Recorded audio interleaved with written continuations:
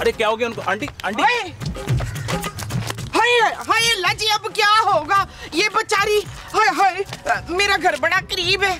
अब इसको मेरे घर ले चलो मैं बहुत ही रहम दिल लड़की हूँ। उठाएँ प्लीज़ please, उठाएँ डंडा डोली करें उसको। हाँ मैडम को मेरे साथ लेकर आओ। परस भी उठाओ बेचारी का। हाय अल्लाह जी।